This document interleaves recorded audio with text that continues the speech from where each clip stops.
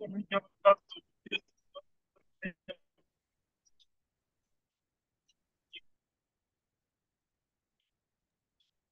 everyone. Welcome to our Land and Environmental Justice Movement Wide Call. We have a song um, sharing in your screen. You should be able to hear it. But I just wanted to double check, Musioka. Please um, share sound when you um, play the play button in your screen so that we can hear the song. Our moderator for um, our call today is Marlon Manuel. And I hand it over to Sir Marlon to welcome everyone. Thank you. Morning, good afternoon, good evening. Let's let's give it one more try. The the music, Musioka. You know, we do the spirits of the National Land Coalition.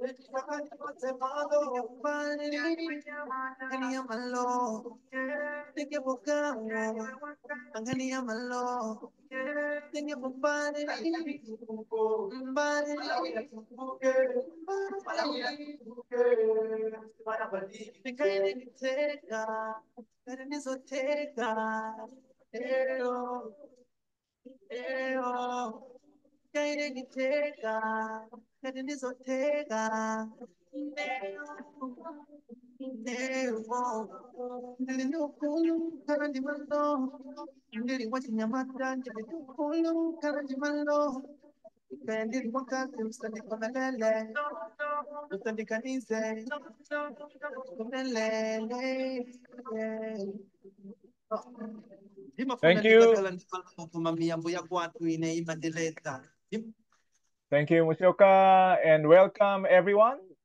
Again, good morning, good afternoon, good evening, wherever you are, in whatever time zone you're uh, you're calling from. We're excited to kick off today's session. My name is Marlon Manuel. I'm with Namati and the Grassroots Justice Network. I'm so excited to be here with you all. Uh, our movement call for uh, uh, for for for tonight, for today. We hope you enjoyed that song by Moses uh, Incana, backed by Mzimba Youth Organization. Uh, the title is Malo, which means land in the local Chewa language. The song is raising awareness on what land means to the youth of Malawi.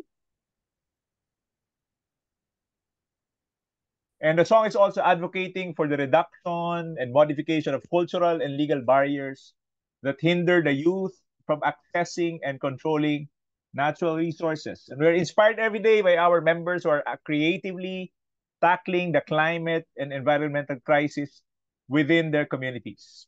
Okay, we're ready to start, but before that, a few announcements, a few administrative announcements. Uh, first, this event will have simultaneous interpretation in English, Spanish, and French. So to activate it, uh, I'm sure many of you are familiar, but uh, just as a reminder, please look for the globe icon at the bottom of your screen. Or if you don't see the globe icon, you look for the three dots and then click on it and then select the language. A few reminders uh, to help our interpreters. Kindly mute your microphones if you are not speaking. And if possible, if you will uh, be unmuting later on uh, to, to make a brief sharing, please be in a quiet space so we can hear you clearly when you speak. If you have access to a headset, better to use a headset uh, or a microphone. So please use them during the call. When you speak, please speak slowly. So again, uh, we're having interpretation. So it's very important that you speak slowly so we can capture your message. If you are using acronyms referring to shortcuts, uh, please spell them out for everyone's uh, information. Thank you very much. Uh, later today, we will be moving into breakout sessions, into breakout rooms. So to help us out in putting you in the right group, we request that you rename yourself by adding the name of your language to your name. So to the beginning of your name. So EN, write EN for English. Uh, SP for Spanish, and uh, FR for uh, for French. So we are okay. So uh, uh, please rename again. Rename your uh, rename yourself and add uh, your your language. That will help us in uh, grouping together the participants uh, later on for our breakout session. Our movement call for today focuses on participatory action research. So you will hear that term repeated a number of times today. Participatory action research or PAR. We have three network members with us today who will be sharing their own action researches, their own PARs from Chile, from the Philippines, and from Cameroon. We have an exciting discussion ahead, but before before that, before we continue and before we hear uh, from our speakers, we would like to know, we would like to get a sense of how many people in this room are familiar about the term or the concept of PAR or participatory action research. So this will be a, a short icebreaker before we start the, the conversation. So We will be releasing a poll at this time so you will see a poll asking how much you know about PAR or participatory action research. Okay, so you you should be seeing the poll now. So please uh, take time and uh, answer the questions.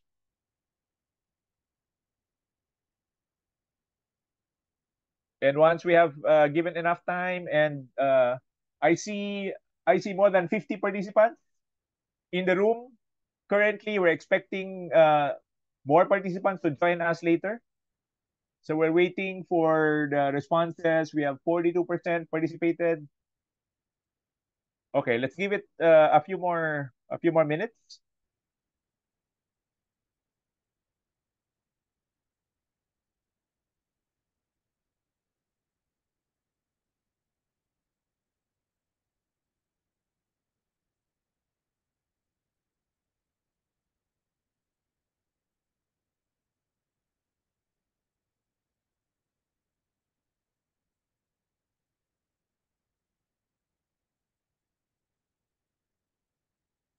So I see 60%, more than 60% had uh, responded to the poll.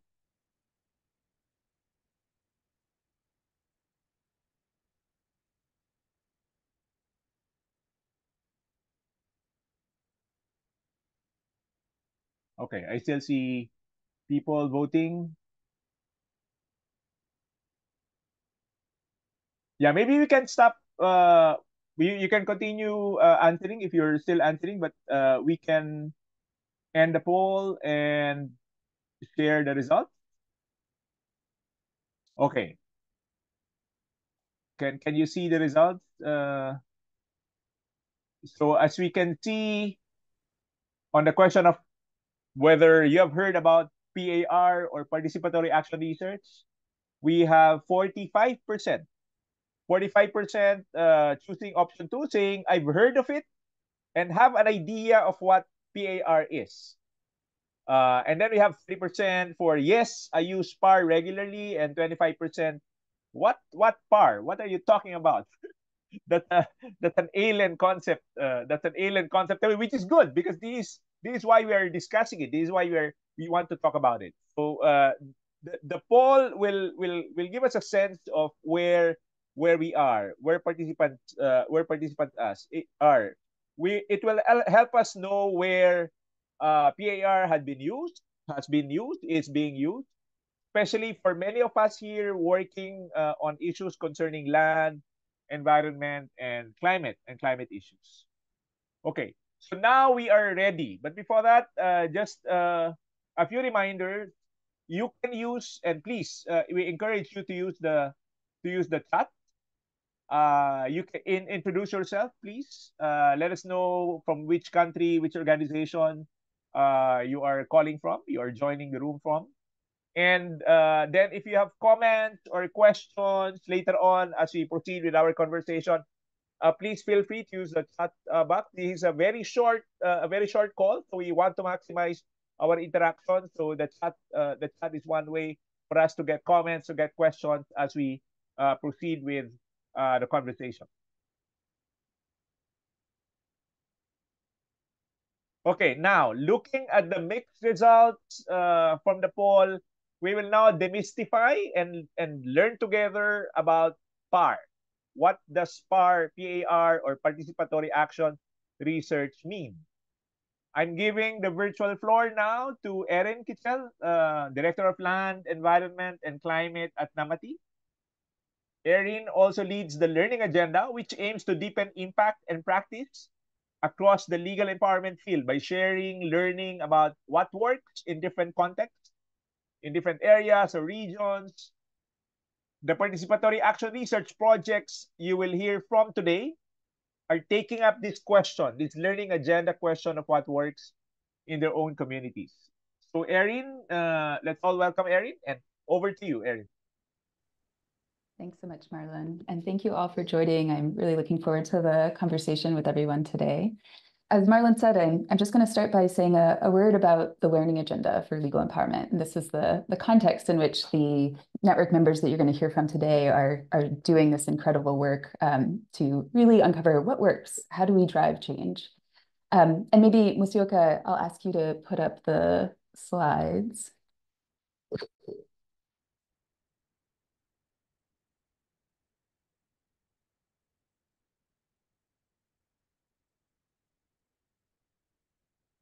And so the learning agenda for legal empowerment, over the past five years, network members from across the world came together to identify common priorities for learning.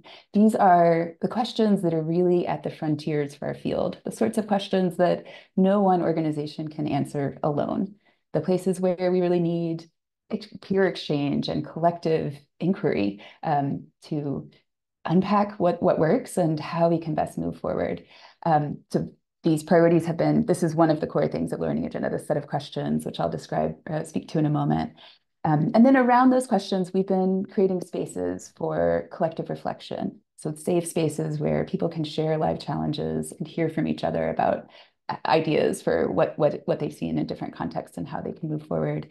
And then finally, the third thing that really defines the learning agenda is just a commitment to documenting and capturing all of that learning and sharing it more broadly um, with network members. So the core, the heart of the learning agenda really is a, a, set of questions that are the burning questions that energize us and keep us up at night. Um, next slide, please, Musioka. And these questions are on four major themes that network members have said are really the focus, needs to be the focus of our own inquiry, shared inquiry across the network. The first uh, questions around building power and systems change. One of the signature opportunities and challenges for our field is how do we translate grassroots efforts to address specific rights violations into reforms that advance justice for everyone. So really looking at the process of combining law and organizing, building community power, and then channeling that towards transformative systems change. The second set of questions are around impact what have we seen legal empowerment can achieve? And in particular, how is it driving important changes on communities' own sense of agency and ability to make change? And then broader um, changes in systems of governance. And this question is important for all of us to know what works, but also to be able to make the case um, that legal empowerment really needs to be a priority for investment. The third theme and set of questions are around movement infrastructure what do justice movements need to survive and thrive? And in particular here, two themes that network members have really highlighted. One is around public recognition. So how are legal empowerment efforts, how are grassroots justice workers um, treated and supported in different national contexts? And then second, what are innovative forms of financing that, that are adapted to the sort of organizing and systems change work we do, and also to some of the different difficult political context that many people are working in. And then finally, given what we're seeing around the world, this rise of authoritarianism, there are also a set of questions around closing civic space. How can we counter repression and threats to democracy? And how do we think about um, the opportunity legal empowerment opens up and grassroots justice opens up to deepen democracy? So to go beyond um, resisting closing civic space to actually um, supporting a thriving democracy. Uh, next slide, please, Musioka.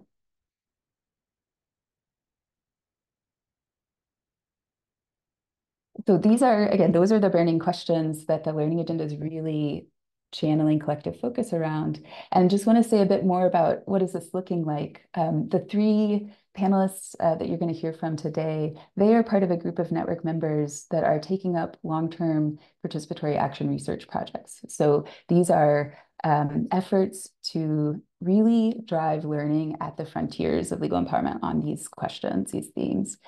And what do we mean by participatory action research? It was actually exciting to see um, how many of you, I think almost 75% uh, of the people that are here today have some sense, uh, either have done participatory action research themselves or have heard about it and had some exposure.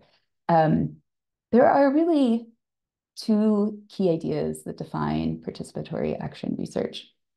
The first is distinct from any other approach it is centered on communities as partners and as leaders in the research. So they're not the, sub the subjects of the re research, but instead they're really the actors. They are defining the priorities for what we need to learn. They are leading the process of um, collecting information, deciding how that what that means, interpreting it, and then thinking about, well, how do we use it? What can we do with this? And that is the second element that defines participatory action research. It is embedded in specific struggles for justice, and it is explicitly um, aimed towards supporting efforts for social change. Um, so those two elements, communities as partners and leaders in the research, and then using research and learning to drive change. Um, so it's not merely an academic or an abstract exercise, it's really offering a new another set of tools that grassroots justice efforts can use. And in, in terms of what it looks like in practice, oftentimes um, experimentation is a really big part of this. So legal empowerment programs and grassroots justice efforts uh, actively um, trying out new things and capturing that, documenting that in simple ways, and then feeding it back into decision making about what happens next. Um, just a quick word about then what, what is all this leading to and how is it contributing to richer conversations across the network? Um, one, one example that I'll give on the closing civic space theme, there have been roundtables um, going on about this question, what, what are network members doing to adapt? And that's been feeding conversations in Southeast Asia about, okay, well, how do we feed, use that to um, build stronger programs? How do we think about building potentially an agenda for collective action around this? How can we support each other as we try to resist closing civic space?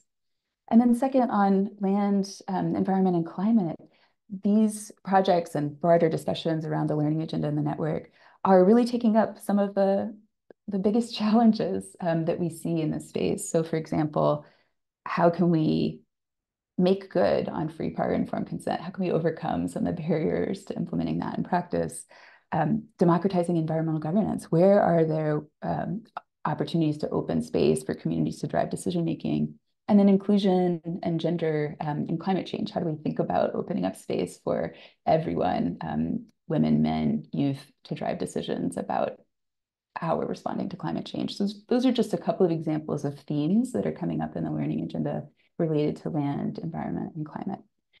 And I want to now pass it uh, back to Marlon and make sure we have time to hear from, again, the, the network members who are really um, taking on leadership on this and doing participatory action research and practice. Thank you very much, Erin, for that uh, very good overview about the learning agenda and uh, participatory action research. And, and remember, not just subjects, but active researchers the key actors, the key players, which is empowerment in essence. So there is really a close uh, a close link between uh, between what you're doing, legal empowerment, the learning agenda for the legal empowerment community, and the participatory action research. And as Erin mentioned, a lot of innovation, a lot of experimentation to improve what we're doing and to learn from each other. So all of these are uh, interconnected uh, principles that bind us together as uh, as a community we are now ready to to proceed to our discussion of some examples of uh, participatory action researches that are uh, ongoing, had been partially completed. Our our colleagues are ready to share. Uh, but before that, again, uh, another reminder to please rename yourself. Add your spoken language to the beginning, EN for English, SP for, for Spanish, FR for French. And that will help us place you, assign you in the breakout rooms for, for our discussion later. Another uh, important announcement, if you want to learn more about the learning agenda and participatory action researches, uh, we will we will be posting in the chat the link to uh, our website, the, the section on learning agenda, which also includes a discussion on PAR if you want to learn more about that. Okay, thank you again, uh, Erin. And with that uh, background, with that uh, uh, framework, let's see how participatory action research is being carried out, how it plays out uh, in, in three countries, in Chile, in Cameroon, and uh, in the Philippines. So I will now introduce our colleagues who will be sharing what they're doing. I'll start with Samuel uh, Nguifo. Uh, welcome, Samuel. Samuel has been working with communities uh, in Cameroon to provide legal support to communities affected by large and small investments on land and natural resources. Samuel directs the Center for Environment and Development, CED, in Cameroon's capital, Yaoundé, in 1999, Samuel was a recipient of the Goldman Environmental Prize. So let's give Samuel a virtual, a round of virtual advice, uh, uh, uh, applause. Uh, Samuel, uh, good afternoon. Next. Good afternoon, Manuel. Thank good you. Good afternoon, Samuel. Uh, next, I will introduce Gerthie or Grizelda Mayo Anda. We call her Gerthie. Gerthie is based in the Philippines uh, she's an environmental lawyer and she has been working in environmental advocacy and community-based resource resource management for uh, for several years. She established the Environmental Legal Assistance Center or ELAC, E-L-A-C in 1990 and ELAC is one of the Philippines most active NGOs working to empower communities and local stakeholders to protect the environment and natural resources. And last Macarena Martinic. Macarena works with communities in promoting their access to environmental justice. She has been working with uh, with with FIMA, an organization in Chile, litigating in favor of territorial causes. FIMA's efforts have been instrumental in uh, advancing progressive environmental jurisprudence in Chile. So thank you, Samuel, Gerthie, and Macarena for uh, for joining and for for leading our discussion uh, for today's movement call. Maka, Gerthie, and Samuel will be sharing stories about uh, the research that they're doing in their respective organizations together with partner communities and partner organizations. And through uh, their presentations, they will be sharing how they are using PAR, Participatory Action Research, to deepen their impact on land, environment, and climate issues. So again, uh, may I remind you to feel free to use the chat so that you can uh, post comments or if you have questions or clarifications about the research projects, uh, please post them in the in the chat.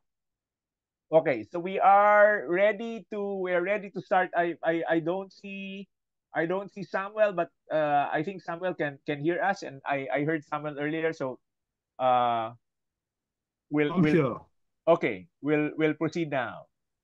I'll uh, I, I have a, a number of, of questions for our three colleagues. I'll start with the first uh, with the first question, and and this is just to request you to tell us a story about uh, environmental injustices that the communities that you work with, you accompany, uh, face, and how you you are you and your organization how you are supporting them uh, through legal empowerment. I'll, I'll start with Gerthie. Okay. Good evening, everyone. Good evening, everyone. Mabuhay, as you say in the Philippines. Uh, the story I'd like to focus on is on extractives, mining. Um, for more than 30 years, I've seen how communities in this beautiful province called Palawan, the last ecological frontier, have been battling with uh, mining. Um, and it's it's ironic that we have uh, we have special laws uh, governing forest, like this protected area, but it is subjected to mining now.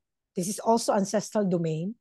And um, 25 indigenous community farmer and fisher members, including women, are currently um, being sued by the mining company for rallying uh, and asserting their rights against the mining companies. And we are defending them.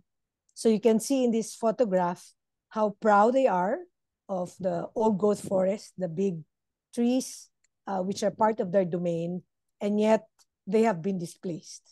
So even if we have laws on free and prior informed consent, because we have an Indigenous Peoples' Rights Act, the process has been marred by irregularities.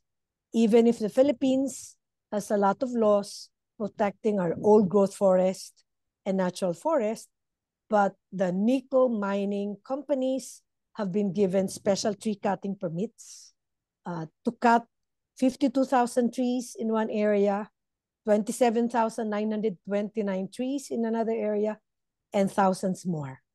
So here, mining continues to operate, and to the best that we can, we do our legal empowerment intervention, the capacity building, strategic litigation, and also local advocacy. Thank you. Thank you very much, uh, Gerthie, uh, for that, and thank you for for sharing all those uh, all those pictures. I'll now call on Samuel uh, to to share what they are doing in Cameroon. Samuel, uh, thank you. Yes. Okay. Can you and, and again, uh, before be, before Samuel uh, Samuel starts, uh, for those who uh, who just joined us, we we have interpretation, uh, English, Spanish, and French. So please uh, activate your uh, your Zoom interpretation uh, function, and Samuel uh, will be speaking in French. Okay, good. Uh, I was planning to speak in English, but I think French will be easier. Bonjour à tous. Le projet que nous faisons au Cameroun est un projet qui se passe dans la zone côtière à côté de l'océan Atlantique, dans une région qui s'appelle le département de l'océan. Et I have a message saying I have changed my language. Uh, Should I continue in French or in English?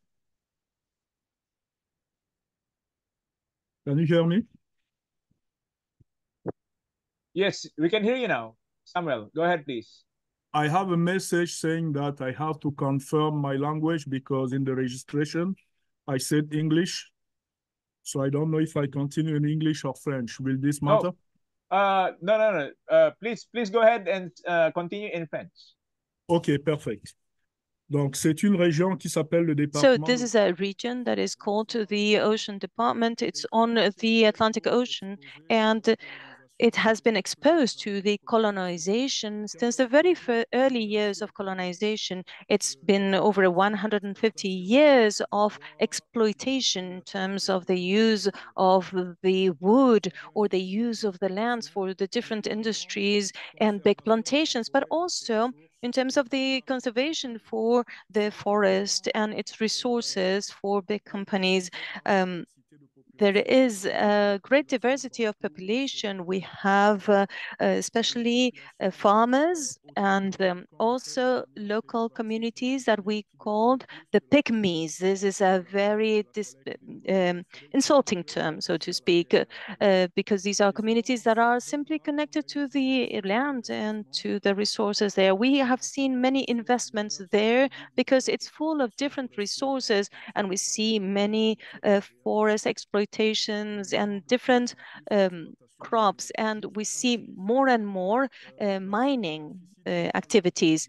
The surface that the state has given to this area is beyond the number of hectares that uh, covers the region. So this is what the state has uh, attributed to these investments. This promotes the conflicts that uh, are coming up in the area.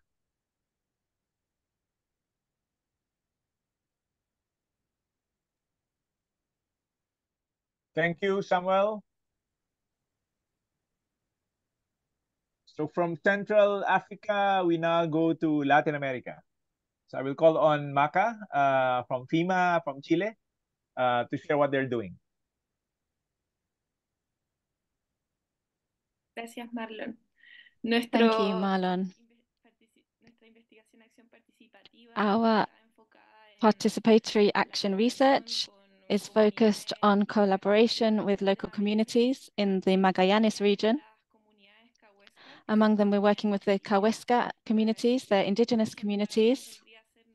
The Magallanes region is a, a Chilean region. However, the Kawésqar community knows it as the Kawésqar Waes region. It's the most southern region uh, in the country. And for thousands of years, the Kawésqar communities have sailed in around and navigated around these areas. As you'll be able to see on the map, it's very fragmented. There are many different fjords in the Pacific Ocean. And that is why for a long time, the Kawésqar communities have navigated and interacted, interacted with this area. Uh, the Kawésqar communities that we work with are called Kawésqar communities that defend the sea because uh, the process that working on is a process of saving these natural resources that are being lost increasingly. Uh, we we work on the close link that they have with the sea, and it, uh, it's a way of classifying the reality with this uh, link that they have, the spiritual link that they have to the territory, to the sea, and the identification of sacred sites or for areas that can't be passed through. And in this process of uh, rescuing or protection that we are working on with the Kawésqar communities, uh, we've been carrying out a kind of a, a, a accompanying process. It also involves legal empowerment. What we're doing is constantly uh, uh, giving over tools with which they can improve their knowledge and protection of the space. And we also do a lot of strategic litigation. The threat in this region today, and you can see the region on the screen now, it's a beautiful region. Perhaps many of you have heard of Patagonia. This is in uh, Chilean Patagonia. There is an Argentinian Patagonia as well, but this is in Chilean Patagonia. And the main threat in the region today is salmon farming. And at the moment, salmon farming has been expanding in the Magallanes region. Salmon farming in Chile is an industry that farms an exotic species. It's not an indigenous species to Chile, and that's why it's having a huge impact. And it's having a huge environmental impact when it comes to uh, pollution, the chem chemicals that are being used, the seafloor is being destroyed. And we're seeing a lot of new industries coming in, especially foreign companies that are coming in, invading our cities, that of course aren't weren't built for this amount of people, uh, and they're kind of touristic cities. And you can see that some of the photos here as well. Uh, us in the communities, uh, in the litigation process, and them sailing, navigating around these places. We've worked with focus groups as well to uh, dig out information, particularly in the region, in the ground, in the lands, and about what they want to target action towards as well. Thank you. Thank you, Maca. Gracias. Very beautiful pictures, no? Forest, land, seas, uh, from from Asia to Africa and Latin America, but unfortunately, all threatened. No, all threatened. Uh, very beautiful areas, but all threatened. Uh, I will now go to the, the the issue that we have for uh, for the focus of our conversation, PAR or PAR, Participatory Action Research. And the question for for our three colleagues is this what what is the issue what is the question that you are investigating what is the point of inquiry that that that you have uh, through your participatory action research projects and and in specifically why par why did you choose participatory action research as uh, as an initiative as a strategy to to learn about that particular issue, to inquire about that that question. I will start this time with uh, with Samuel. Okay, thank you. Can you hear me? Yes, uh, loud and clear. Samuel, go ahead. Okay, okay, perfect. Euh, quelle est la question qui nous a préoccupés? Pourquoi What's nous the avons question that you was uh, sur, cette, euh, that- sur, sur ce sujet? that what were the concerns about this subject, about the participatory, participatory action, about the PAR? We have to say that we worked in the zone in different in different different years, and we we we work in the question of the committees against the big investors. And what we try to do is to reinforce the juridical capacity, the legal capacity of the communities. But today we we we say we say it, there is a lot of investments against us, and we can't work in any in not every communi community. But we, so we Um, need to go to who, the which are the communities where communities that are more at risk of risk conflict? of conflict. We need to foresee And we have uh, to check where where are the the- places where where we can zones have where we can have any sort of conflicts. complex. We, Co- we uh, are, conflict. we're having we're hearing two interpretations. The in, in the English channel. It's not working? Uh, Okay, It's let's working now. again. Samuel. Okay, Samuel. Okay. So, euh, euh, donc, ce que je disais, c'est que I was saying that with the several num the increase in the investments, we do not have the capacity of going everywhere and working with every single community. We needed to determine in a very precise manner which are the areas that are more at risk of conflict and which are the conflict the areas that are um, that are more bound to see conflict. The second thing is that we didn't have any the impression of having well understood what the conflicts were about. We understand that there were conflicts between the different uh, community be, between the communities and the investors investors, but the communities do not have one single opinion. So it was very important to try and understand what was the position, what was the understanding of the different participants of the community when it came to uh, conflict. Uh, were the young people thinking the same as the elderly? Uh, for instance, it was im- important to understand what the nuances were in order to understand what could be the best course of action in that context in order to prevent conflict and if the case uh, required it in order to work with the communities uh, to solve the conflict so that was our main purpose to identify the methods and the requirements in order to work hand in hand with the communities Thank you, uh, Samuel. Thank you for that. Uh, I'll now call on Maca. What issues are you investigating through the PAR? And why why PAR in particular? Ouais, maintenant je vais appeler Maka. Quelle, quelle euh, question vous êtes en train de, de, de, de, de- sur lesquelles questions Well, vous recherchez At par, FEMA, à we travers divide la our goals RAP? into Nous, nous avons external nos and objectifs internal goals. internes et externes. Regarding the external goals, interne, what we're doing c'est is we're trying Uh, to Uh, rechercher. Maka. Uh, just invest. uh, we are hearing the French interpretation in the English channel? Okay, let's let's let's try again. Super. Eh, parto de nuevo. Okay, I'll start again. So at FIMA, we divide our goals and our questions into two different categories, internal and external. Because of what I'm going, Participativa. because of why PAR. With our external goals, one of our goals is to find evidence that uh, answers the following questions. What has the impact been of legal processes that we in FIMA are carrying out with the communities that we're working with in the Magallanes region? What have the legal empowerment processes impact been?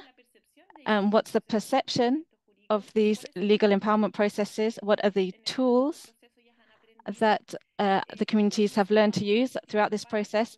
And which have been most useful for their defense processes. And then the second uh, question has to do with how the legal empowerment processes and the facilities can help them to stand up to these threats and future threats. We also have some questions focused on how these legal empowerment processes have led to changes in their realities as well. I didn't discuss the future threats at the beginning, but the region is facing an imminent uh, installation or establishment of an industry, which is the green hydrogen industry, and many different Latin American countries are competing in this race for green hydrogen and being the biggest producer of green hydrogen. It, honestly, green hydrogen is a kind of false energy solution.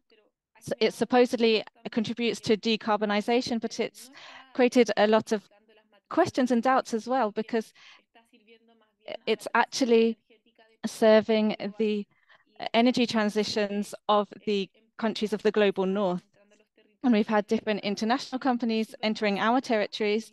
And in this case, uh, the impact has been very concentrated in the Magallanes region because there's a great deal of wind in the Magallanes region and green hydrogen needs renewable energy uh, to operate. And that's why there's so much that have arrived in the Magallanes region because there's so much wind. So there's great opportunity for wind energy.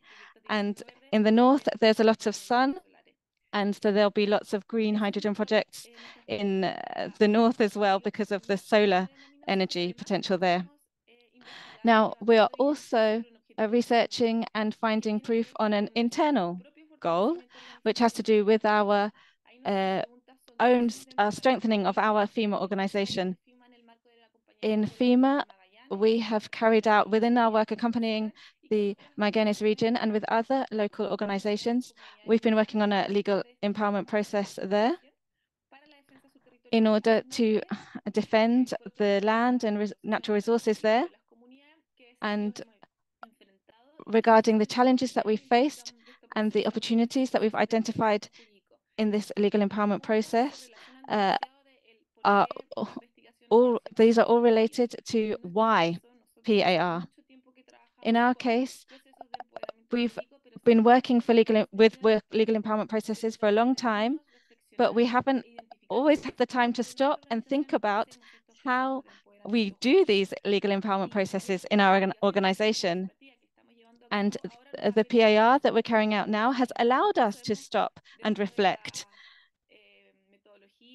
even within the methodologies and the evidence finding uh, that we're doing, when thinking about what we're doing, this has uh, had to do a lot with the different processes of the organization, what was done before, what's being done now, what we'd like to improve on in a way that we can really uh, systematize these processes and have a better understanding, a better presence, uh, so to put it, uh, in these legal empowerment processes and uh, extend and expand their impact as well. We could hopefully extend them to other communities and uh, do it in a more conscious way because often um, we were focusing at uh, uh, things on a case-by-case -case basis, the obstacles that we were coming up against in the specific territories, but we weren't thinking about beyond that. So that's another reason for using the PAR process in our case. Thank you, uh, Maca. Thank you for sharing what you're doing. So we now go to Gerthie. Gerthie, what are the questions or key issues that you're investigating through your part?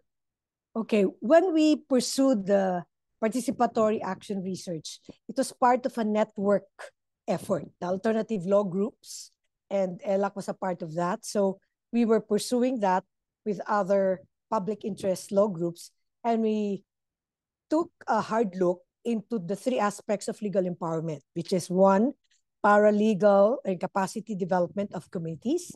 Second is on policy reform and advocacy. Third is on strategic litigation. And we wanted to know the impact of our work. So the processes involved were critical. We conducted focus group discussions involving communities. So their voices uh, will be recorded and will be heard and they will be given the chance to also, you know, to identify what would be most memorable uh, with respect to paralegal development, or strategic litigation or policy reform.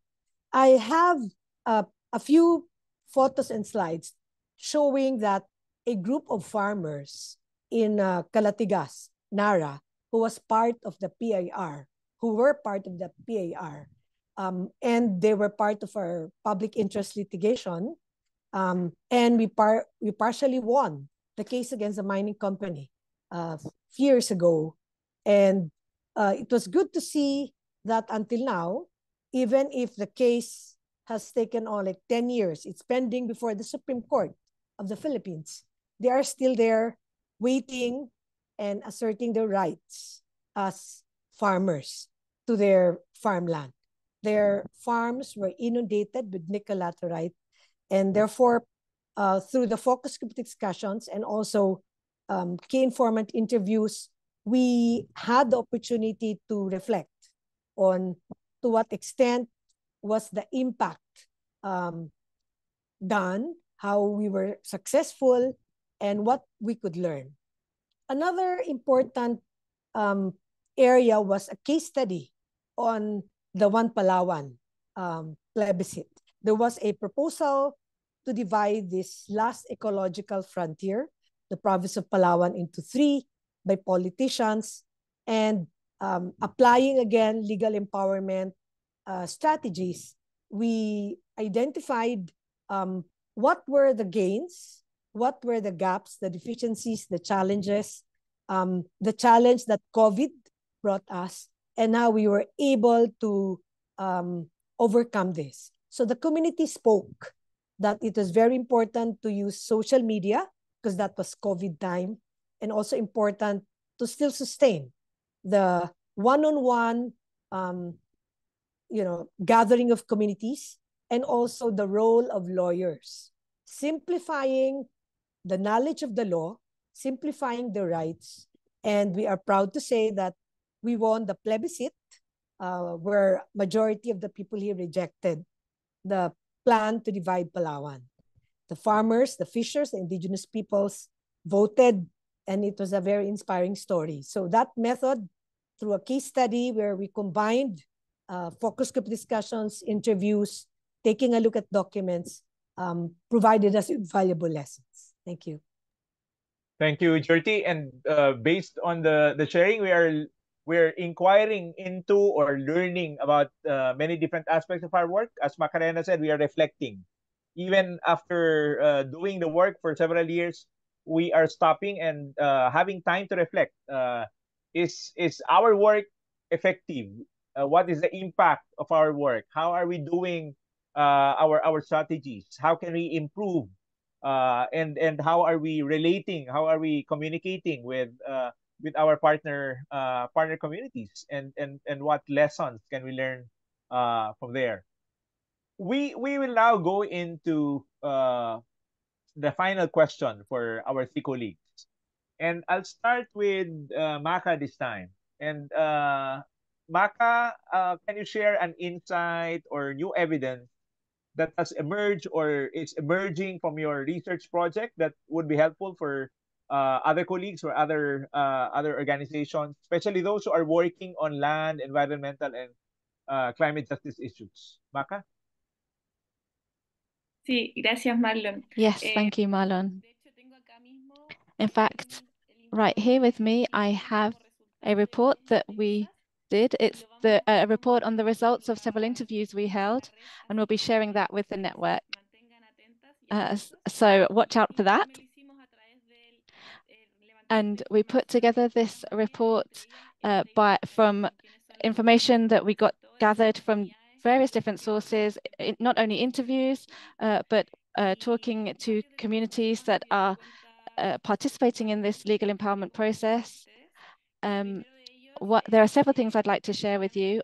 The first is that indeed these legal empowerment processes are are seen as being very useful for the communities in order to better know the laws, to be able to better use the laws. And some even said that they'd been able to change certain realities. And uh, some indigenous communities did say that there was uh, a lot of work to be done to really achieve that notion of change, but uh, it the legal empowerment process had helped to make progress in that sense. Another thing, it, we found that it really does have to be a process because at first, with the first uh, context that we had, the first pieces of work we did the communities, uh, it was like we were speaking different languages with the communities because also as lawyers, we start learn as we go how to better communicate, how to better collaborate as well. Because well, in my case, for example, I'm a lawyer and many of my colleagues in our organization are lawyers, not all of them, but it's often us lawyers who are participating in this legal empowerment process and the collaboration with communities in that process.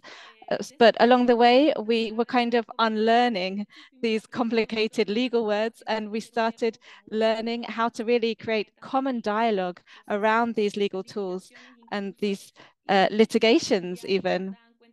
And they realized that at the end of the day, they felt like they were kind of lawyers themselves because uh, they really found that the knowledge was much more accessible to them.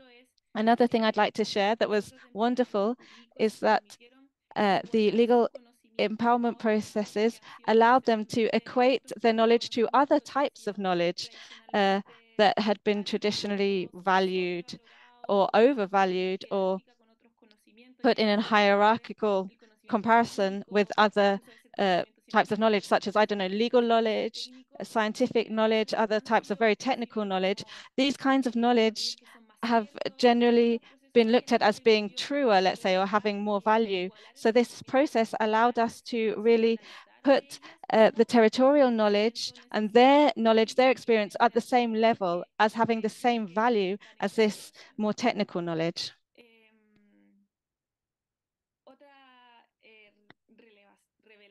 Another revelation for us, uh, which was pretty interesting, that came out of our research was that uh, we found the impacts from a gender perspective and how they're perceived by indigenous communities in particular.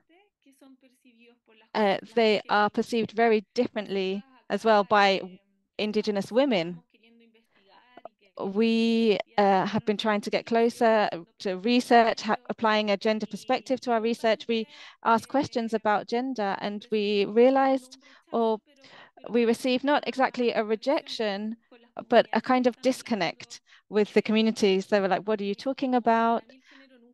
Uh, for me, gender has never been anything that's important here. We divide tasks in our communities we don't establish gender hierarchies. And then uh, through a more a, a deeper conversation process, we realize that they don't view gender as something that's relevant to their process of defending their territories. Although perhaps they could see that uh, there are unequal gender structures and hierarchies, and that perhaps yes, there is a different burden of care between the genders, but it's not something that for them is some, very relevant in their territorial defense processes, and not like other factors such as um, in the community, the fact that it's the women who are maintaining a certain structure. They are taking on this role of maintaining the community united, uh, engendering this idea of the community being a family and the fact is that for them, they are not environmental defenders, they're families above all. But at, this, at the moment, they find themselves at risk. And women uh, shoulder that burden of, or that role of maintaining this family, this community united. And in that sense, uh, gender inequalities were viewed from a different perspective by them.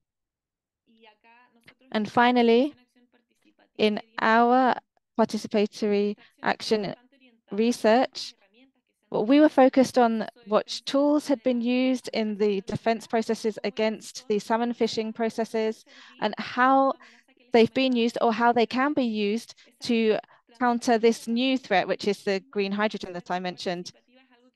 So uh, this um, participatory action research is something that is being lived in the region. And uh, the information that we have gathered looks at identifying common ground um, and why the Magallanes region continues to be such a hotspot for industrial processes, uh, such a hotspot for uh, companies setting up there, and what is the common ground that we can identify among these different communities and local organizations, and how this common ground can then help us in the future to resist new threats in the region. Thank you, uh, Maca. New threats, emerging threats, new threats, uh, but also emerging uh, new insights. Samuel, uh, I'll call on you. Um, if you can share any insight, any new evidence coming out of the research project.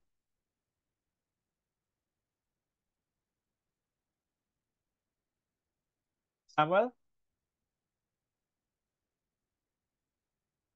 Samuel, uh, you you are your mic is on mute?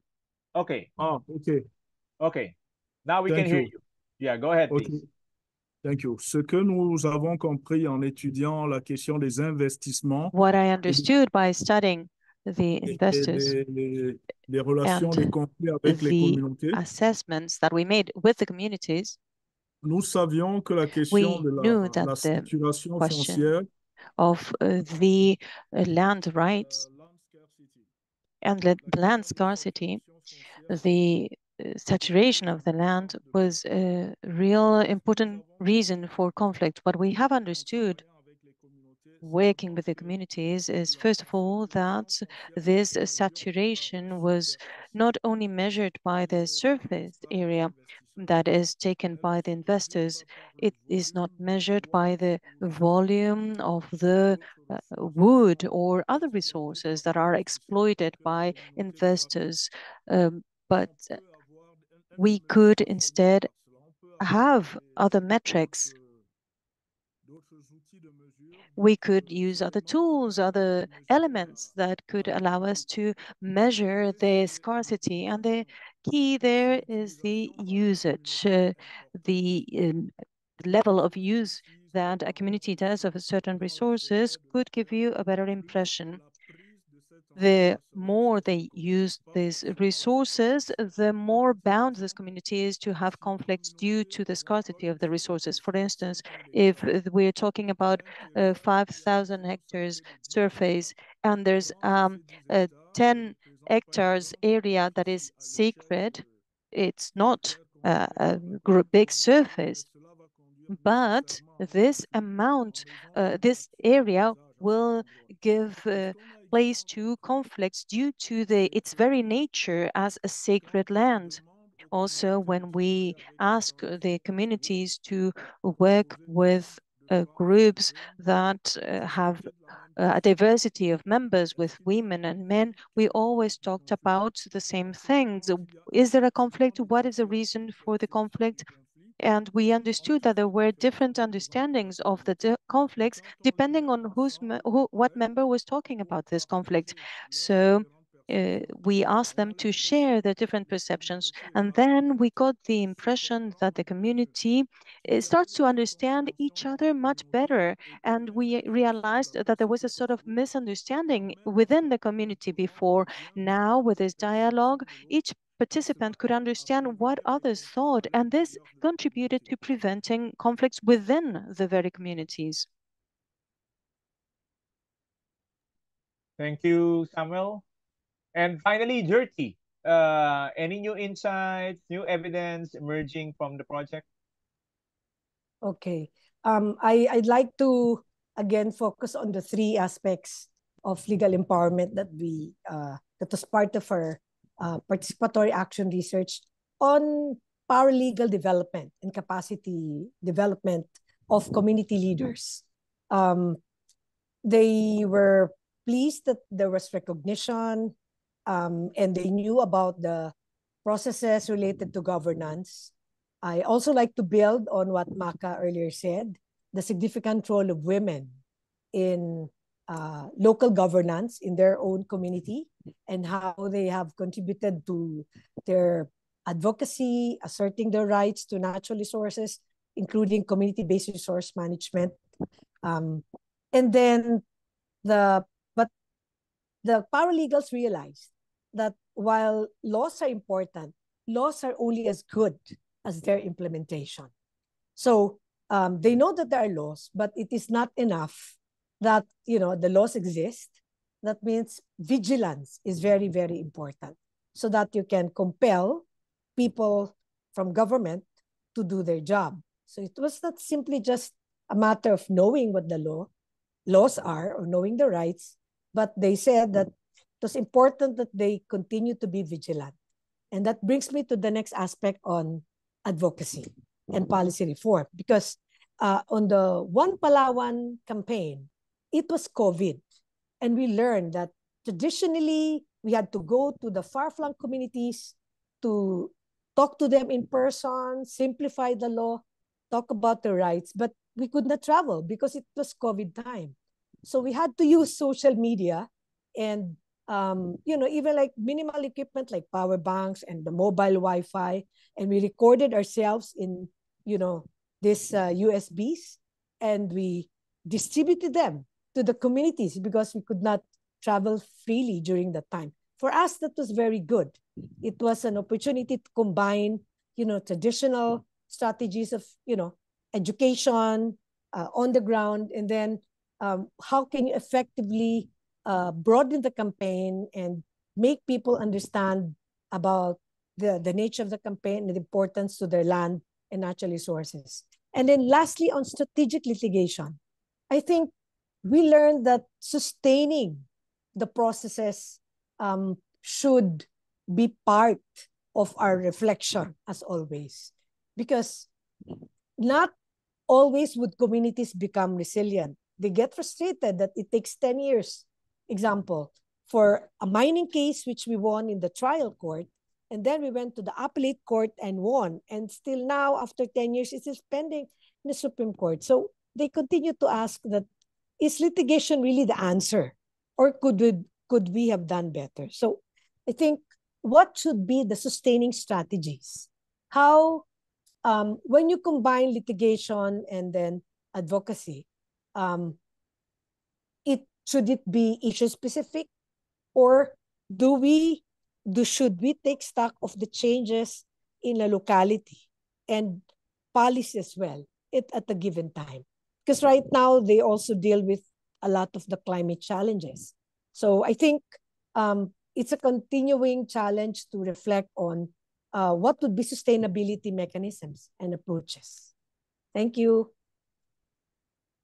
Thank you, uh, Gerthie. And again, uh, we would like to thank uh, our three colleagues, uh, Samuel, uh, did we did we lose Samuel? Samuel there. Samuel, uh, Maca, and Gerthie.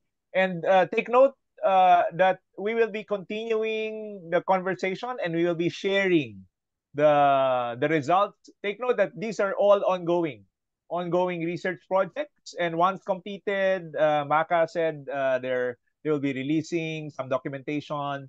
Uh, we will be sharing uh, outputs of the research projects, not only from uh, from the three organizations, but other organizations also engage in similar uh, research projects uh, through our website, uh, through the the Learning Agenda page, and also through our newsletters. If you have not yet subscribed to the LEJ newsletter, please do so. We will we will uh, talk more about that uh, later, but uh, we will continue updating you. And uh, I saw a comment, a question in the chat uh, asking if they can reach out to the three organizations. Uh, so if it's okay with you, Maca, Gerthie, Samuel, if we can share your email addresses in the chat later so that yes. if they want to learn more about what you're doing, they can reach out to you. Okay. Thank you. Uh, Thank you very much. And and that brings us now to the breakout session. We are now ready. We will be having a, a very brief uh, breakout session about maybe about 12 minutes. And uh, we just want uh, participants, and we have more than 70 participants, to think about uh, what had been shared by Samuel, Gerthie, and Maca, and, and think about one to two key takeaways what what did you get out of the out of the sharing? What are your key reflections? And uh, do you see any parallels, any similarities with with the work that you're doing in your organization in your country? if you have uh, learning questions or issues you want to inquire into, you want to investigate, what would that question be? What would that issue be? So uh, we would like to bring you into small breakout rooms for, for you to share. Again, one to two key takeaways from what had been shared. Second, do you see any parallels with your work? And then third, what learning question uh, would you be interested, would you be keen to explore uh, through a participatory action research? Uh, are we ready with uh, our breakout uh, breakout room? We will say time is too short.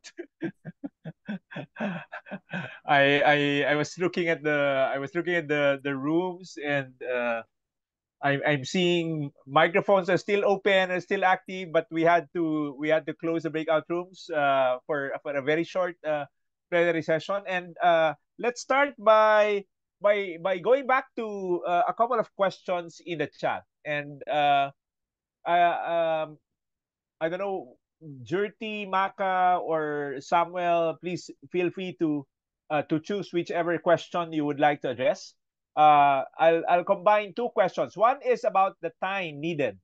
How, how long does a participatory action research take uh, to be completed? That's, that's the first one. And then uh, the second one asks about the issue of uh, protection.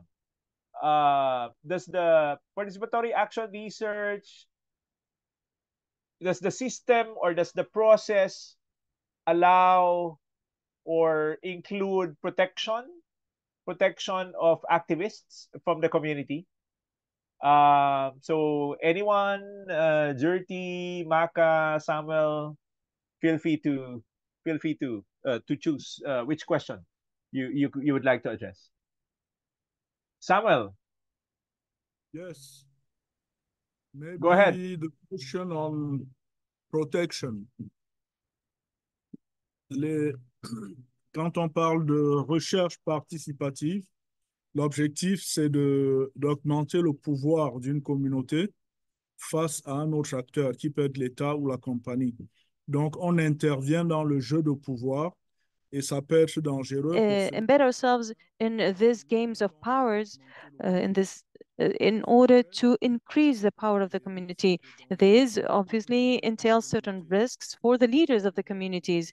So we need to find the best way of protecting these leaders. So what we do from the very beginning is we talk to journalists so that this problem is is quickly known by the general public. Now, when this problem is well known by the uh, big than the by the public, the people in the community are automatically protected by this.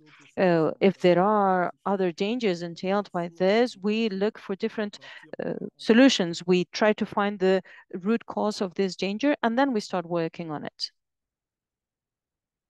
Thank you, Samuel. Uh, on the question of the the the time needed, for PAR? Maca, Gerthie, Gerthie. Yes, go ahead. Yeah, well, um, it takes months. Uh, from our experience, uh, we were given at least six months, but the case study, Volume and Palaan, took another additional months. It was time bound because, of course, the resources and we were doing other things. Um, that's why I was saying it's not, it's not that easy to you know um, schedule focus group discussions because committee members also had the work to do, but um, they were thankful that they were given the opportunity to be, you know, to participate in the in the process. Okay. Thank you, Maca. I have I have another question for you. I saw one question uh, in the chat just now, uh, and I heard you say something about strategies. You're looking at the strategies, how you connect with communities, and and the question is whether uh, you are also looking at how government how government officials respond to legal empowerment uh, strategies. Is that something that is included in uh, in your project? Gracias. Um, la, Thank you. One of our external goals of research is to identify which uh, decision-making spaces the communities that are participating in these uh, legal empowerment processes and using the tools, how they can participate in those spaces, how they can have an influence over those decisions that are being made. Um, this is a kind of live investigate or research rather. So it changes with what's happening and with what we're viewing, especially uh, it's the same as what Gerthie and Samuel were saying. In our case, um, we gave ourselves a time period of three years, but at the end of the day, the legal process is a lot longer. And at this moment in particular, we've seen certain narratives. Uh, we've seen them really entrench themselves, uh, narratives that stigmatize environmental defense work, narratives that stigmatize um, work of certain international organizations, and these, these are discourses that come from industry, but they've also been internalized or in some cases internalized and in some cases uh, it's just that the state hasn't been able to respond to them. So we're very, we're paying a lot of attention to that and we're looking at how our action as well can respond to those kind of situations. Thank you, uh, Maca. Uh, I'm looking at the time. We have a few, very few remaining minutes. Uh, so if there is any anyone who would like to share just a very, very short sharing of uh, some reflections coming from the breakout sessions. Anybody from the from the seven uh, from the seven groups?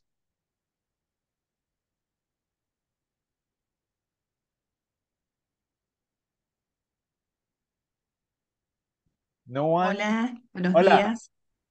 Hola, Hello. Dana. Hello, Dana. Hello, good morning. Yes, I'm Dana Ruiz. I'm from Argentina.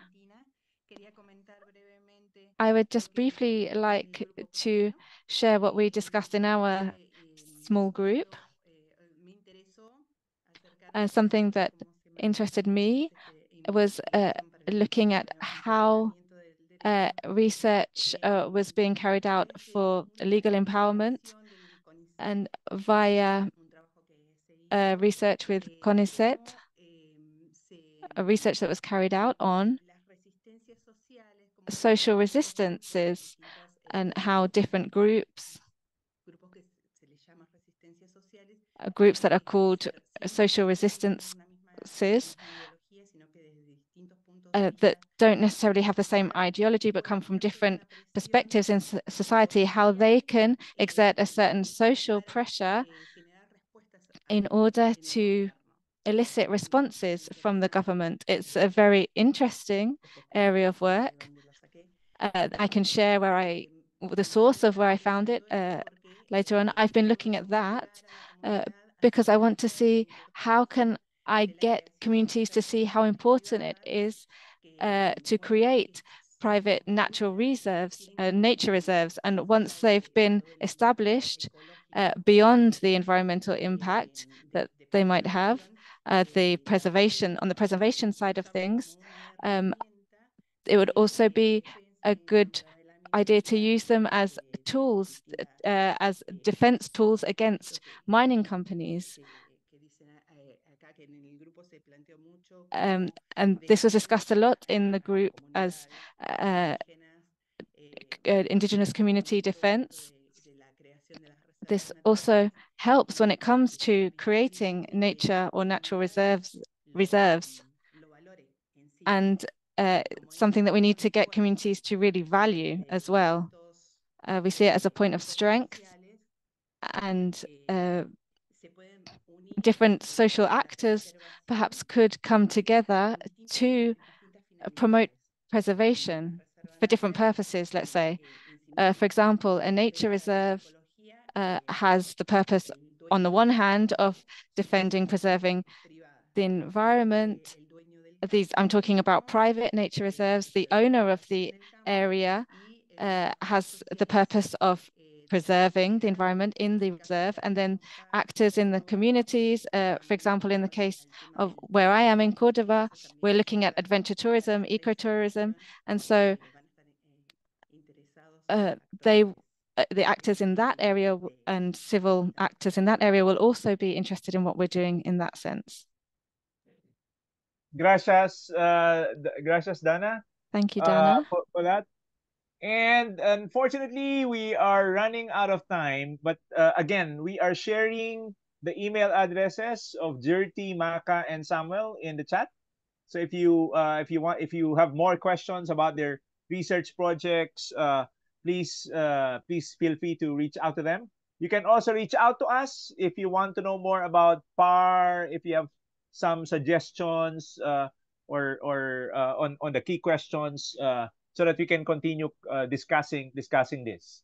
Uh, we are about to end our uh, movement call, and uh, I'm happy to announce that our next movement call will be focused on gender, gender equality, gender justice, uh, and we will now be launching a poll uh, to to seek your input and to ask you what you want to see in the next movement call. That is focused that will focus on gender.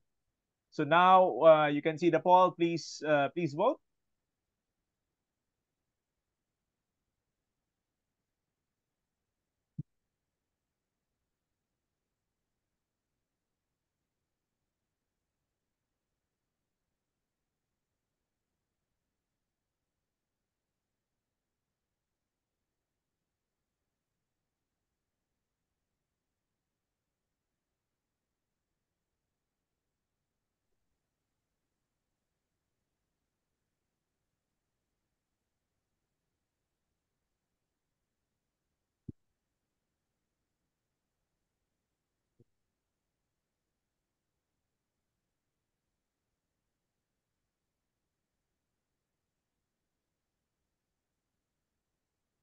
While the poll is, oh, go ahead, Sir Marlon. No, go ahead. Go ahead, Nikki. While the poll is ongoing, I would just like to flag that if you are interested in following along the conversations, we have uh, sent a link in the chat for a uh, registration form for a working group. The Land and Environmental Justice Initiative has three working groups, um, and you can see it in the link we have also a newsletter. And if, of course, you're um, keen to hear how the research projects are going to turn out, you will hear it in our newsletter. We've also pasted the link in the chat. My colleagues will paste the French and the Spanish version um, as well. Thank you so much, everyone.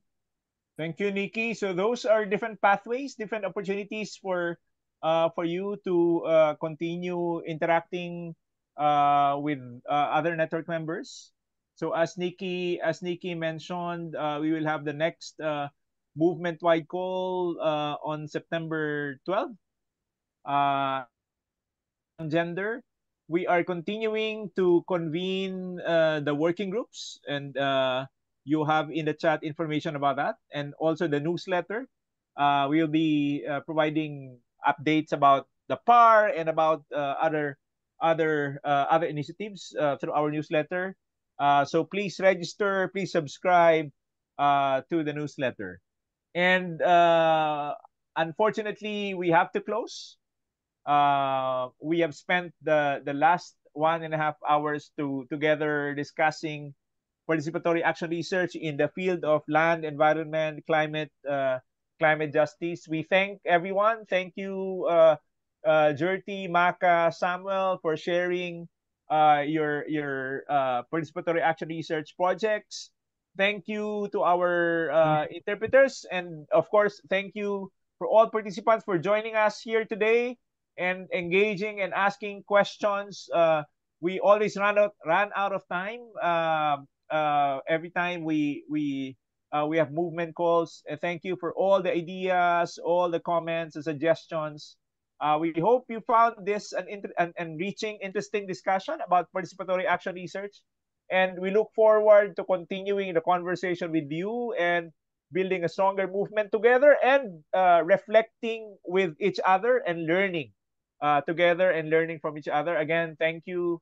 Thank you very much, uh, everyone. And see you, you in the next See you in the next movement call. Thank you. Thank you. Bye-bye. Thank you.